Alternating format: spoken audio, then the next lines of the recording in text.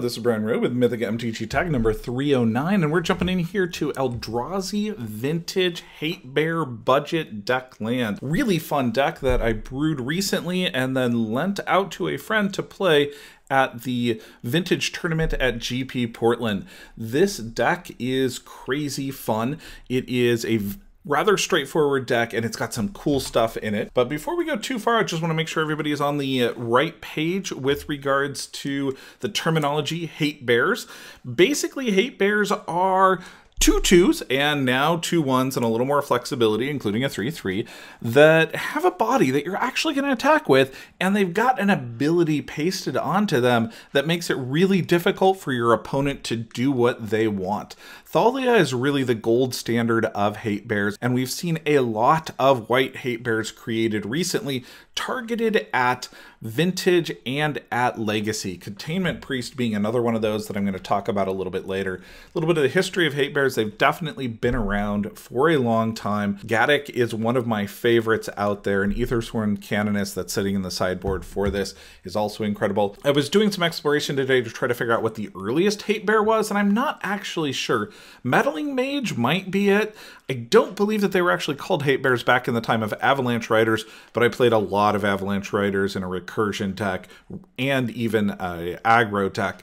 Um, True Believer kind of has that feeling of a hate bear and may even predate the hate bear name. But if you've got an idea of what the earliest hate bear really was, please leave it in the comments. Let's jump into this deck. It is a very aggressive deck with lots of creatures in it. We're looking at Containment Priests, Eldrazi Displacers, Phyrexian Revokers, Spirit of the Labyrinth. Simian Spirit Guide is not a creature, although I guess you could actually cast it, and I have seen Cavern of Souls drop on Ape before to get it out there, but it is about getting some creatures in play, disrupting your opponent's plan and then going after them. The cost on this deck is about a $1,000 currently, and I know when I use the term vintage and budget together, it causes some confusion there. This runs about 10% of what a full powered vintage deck would run. You can easily pick this up right now for about 300 to $400 less than that because a lot of stuff was recently printed. I'm going to go into that a little bit more. There are some expensive cards here. This is less than you're going to spend on most Legacy decks, and I've been asked to try to port this over to Legacy and I'm going to be doing that for an upcoming video, but I want to do some play testing on it because the Legacy Eldrazi decks are actually pretty different than this, and I think that this deck could do very well in a similar format in Legacy, and I'm working on that currently. Right now is a solid time to pick up a lot of the cards for this deck, in fact, most of them. Most of them are really cheap currently compared to where they were even a year ago. Stoneforge Mystic is your GP promo, and although it's listed online at TCG at your 20 to 25 range, people at the GPs were selling them for around the 12 to 14 range. If you can get anywhere near one of those events, they're really easy to pick up. Wastelands, Karakas, and Mana Crypt are all pretty easy to get right now, especially if you're doing cash, but even in trade. Now, on the ones that I'm not sure whether now's the right time to buy is Ancient Tomb. Ancient Tomb has shot up. It really only has two printings, one of those being a From the Vault. I think this is a target that could be reprinted, and the cards that I'm pretty sure will be reprinted within the next 18 months are Cavern of Souls, Chalice of the Void, and Amethyst. Your Thorn there is rather high for a one-time printing rare that could easily see its way into the Modern Masters that is yet to be announced. I don't have anything official there there or even unofficial, but I'm pretty sure we're going to see another Modern Masters set coming out next summer. If you wanted to go super budget, you can play this deck super budget. You can pull those Wastelands throwing Ghost Quarters. You can put in a Lodestone Golem and some Reality Smashers. In fact, some of the top lists out there are using Reality Smashers, where I kind of lowered the curve with this budget version, got rid of the Reality Smashers because of the Spirit Guides that are in here. The non-budget lists that are similar to this are running usually four pieces of jewelry and a lotus, which allows you to do a little bit higher curve. I actually like the lower curve though a lot better than the higher curve that's been more popular. Although running against each other in the head-to-head -head matchup, Reality Smasher is really good. Being a 5-5 is very nice. On the super budget side, I would also think about pulling specifically the Stoneforge Mystics and the Batterskull package for the Reality Smashers, especially if decks like this become popular because of that 5-5 real size to it. The MVPs in this deck are really Thought-Knot Seer at the top of the list. When you cast this guy, you are grabbing something great from their hand, and it's often a singleton in Vintage. Occasionally, it can even be a wing condition. It really disrupts your opponent a lot more than you realize, especially since you've got some thorn effects out there that are going to slow them down. Those taxing effects on top of taking that three caster that they really need that is now costing them four or five really can prevent them from winning while you beat them down. Eldrazi Displacer is a powerhouse. Really, really good in this deck.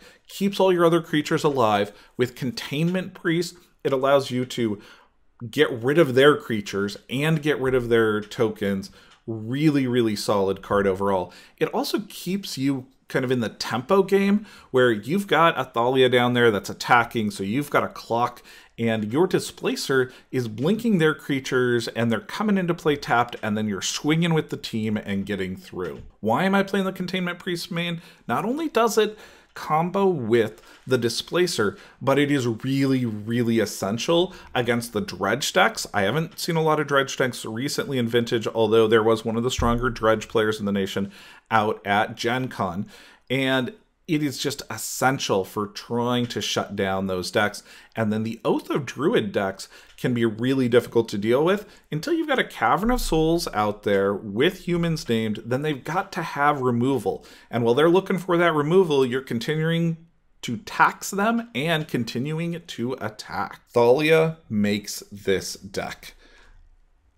I have played Hate Bear decks for a long time before the Eldrazi came out and they are still really, really good without the Eldrazi. Thalia, though, is essential. Thorn of Amethyst is solid, and then you've got the Wingmare on top of that. You've got lots and lots of tax events in this, lots of ways to slow your opponent down. This is one of the other lists that I based mine off of. Um, this is a winning list from a 99 person vintage tournament. Um, as you'll see, this is a powered list, but it's very similar ideas to it. You could power this up. Most individuals who are running this list at that super high competitive level are running a Lotus, a Pearl, and then two other Moxes, maybe three other Moxes. I don't actually think that you need the other Moxes. I like the spirit guides a lot. You need an explosive start, and once you start getting taxing effects down, your moxes actually end up being a little bit of a disadvantage where the ability to pitch a simian spirit guide, or in rare cases, even cast it an attack with it, can be an advantage. Lotus is incredible. It just jumps you up so quickly. I could see putting a Lotus and a Pearl in this deck. The sideboard on this deck is really metagame dependent. One of the comments that I got on this deck when playing against some of the fairer decks was that the Swords to Plowshares should really be moved to main deck. And if you're playing against a fair meta, that makes a lot of sense. Mental Misstep, though, is so popular in the environment, and this deck is so light on targets for Mental Misstep. It's really nice to blink four of their cards really early on and be able to grab the Chalice of the Void and throw it out there on one. And that's one of the interesting things about this deck is do you want Chalice of the Void on zero or do you want it on one? And how early do you put it out? If you've got it in any hand, you drop it as soon as possible on either zero or one, depending on what you're playing against. The rest of this sideboard is kind of heavily tilted against Dredge and against the artifact decks with the Ethersworn Canonist hanging out there to try to help you with your Storm combo decks. The Storm combo decks are probably your toughest deck to deal with. The sideboard here could definitely be played with a lot dependent on your local meta, and White has some of the best sideboard cards possibly out there, from things like Spirit of the Labyrinth to Stony Silence to Containment Priest. A lot of people have tried to convince me to try to put null rods in here instead of the stony silences.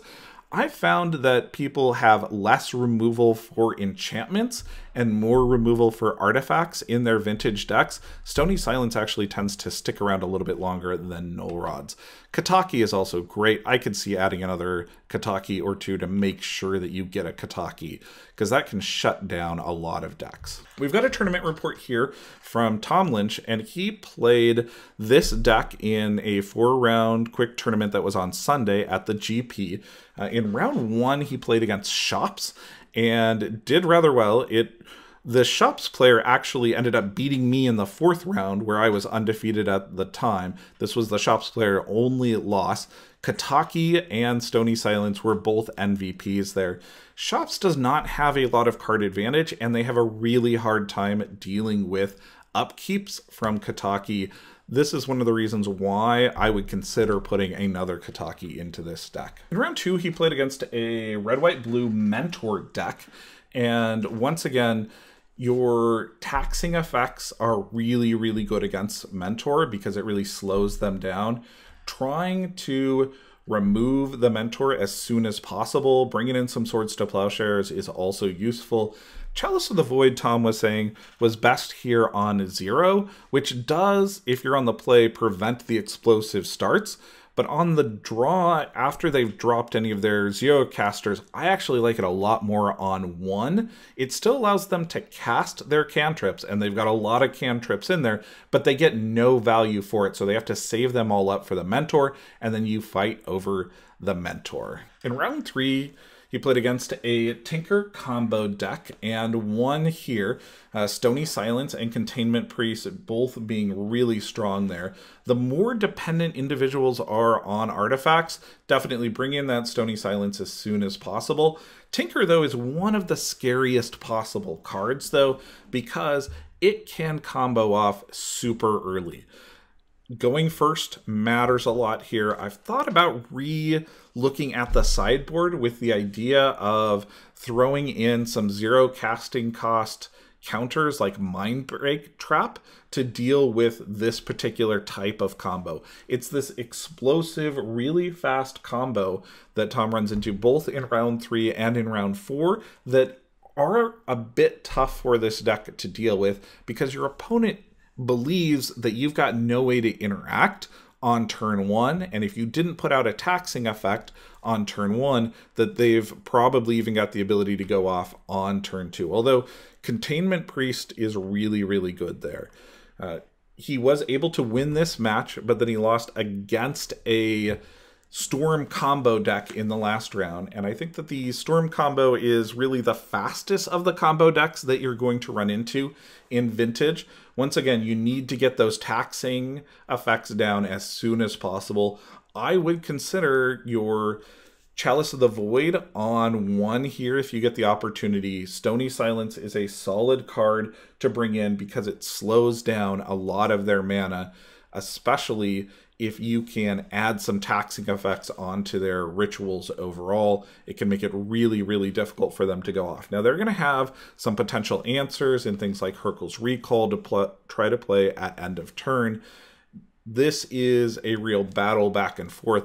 And here is where I would strongly consider maybe some mindbreak traps for the sideboard. Most people don't expect that card, it is a really, really powerful card that I've won several games and is a solid consideration for the sideboard for this deck. Big thank you to Tom Lynch, who's pictured here. He literally picked up this deck the night before. We're playtesting it up in the VIP lounge, working on it, and he ran with it the next day and played some really good games. Thank you for the tournament report. For anybody who's interested in more stuff around vintage, EDH, Commander, upcoming sets, please subscribe to the channel. It's patrons also that make this channel possible. Become a patron of the channel and help me create some more great content. Leave in the comments if there's a particular topic that you would like to see covered. I've got a lot of content from Gen Con and from GP Portland coming. Lots of videos in the upcoming weeks here. So until next time, take care and choose the cards wisely.